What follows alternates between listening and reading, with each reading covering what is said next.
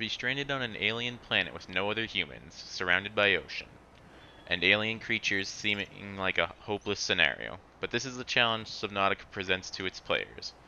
To survive on your own with no knowledge of the world's dangers, and to find a way to escape, all by yourself. To many, Subnautica is a scary game, and that is because of its dedication to its atmosphere.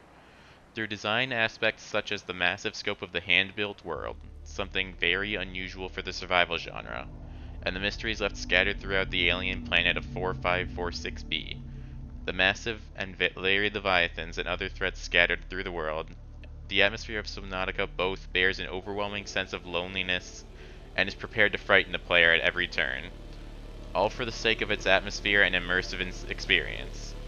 Fear and loneliness are used in tandem to make the player truly feel like they are trapped alone on an alien world and it is up to them to survive and escape by themselves.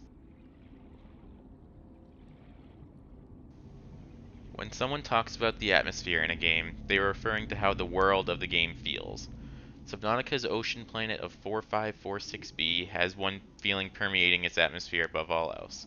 Loneliness.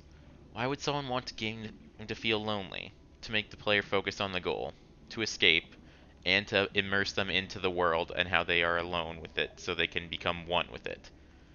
The world of Subnautica, while limited in size, is designed to encourage you to explore its various biomes, and the further the player explores, the more mysteries of the world and deeper waters they discover make the player realize they are alone. Nobody can save them except for themselves. There is not a single interaction with a human in this game beyond long ago recorded radio messages and abandoned PDAs.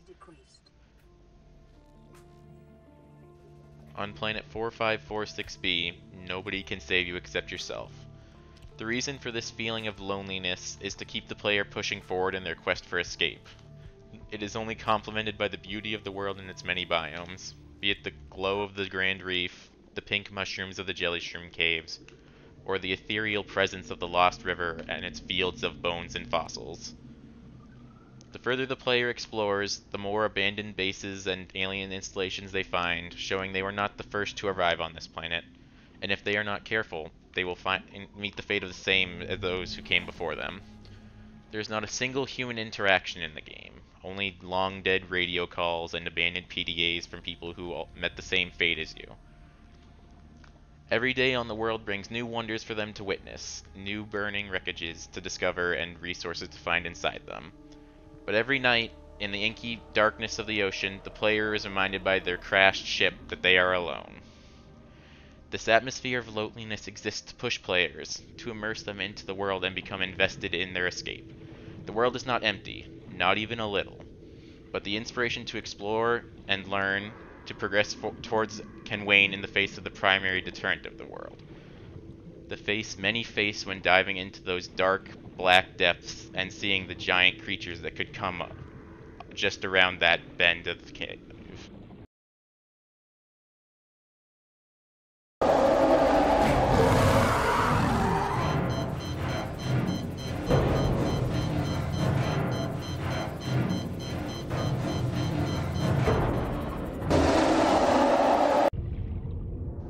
This is a Reaper Leviathan, a 55 meter behemoth that will very commonly be the cause of a player's first death in the game. Its roaring calls inspire fear in players and can act as the ultimate wall for a player to push through in their explorations. But why go through the effort of scaring a player so intensely? Why put such a gigantic and frightening creature in the game? Two reasons. To serve the atmosphere and the world of the game, and to use as deterrence. Reapers are placed in many locations around the map, but they aren't placed randomly. They only appear in places that make sense for such a massive predator to hunt. The same goes for other large and hostile creatures. Warning, entering ecological dead zone. Adding report to databank. But fear is also the greatest deterrent. This is the most brilliant usage of these massive leviathans. Unlike many sandbox survival games, Subnautica's world is finite. It has an end. This end is the space surrounding the playable area called the Dead Zone, an area where the only life is hostile leviathans that lock onto the player and attack. The developers created this to be both a deterrent of fear and a very real threat to the players, to push them back to where they should be playing. Deve developers use fear to both test the player's determination to explore and give their ecosystem incredible and iconic apex predators to make their world even more immersive.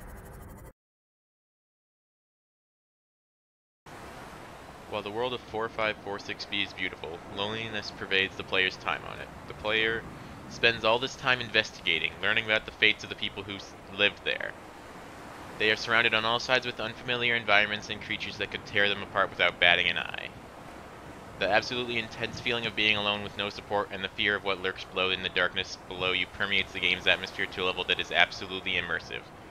The game making you feel these intense feelings is a part of the experience, the immersion, that these feelings produce provides a vastly improved experience and an atmosphere that few games can match.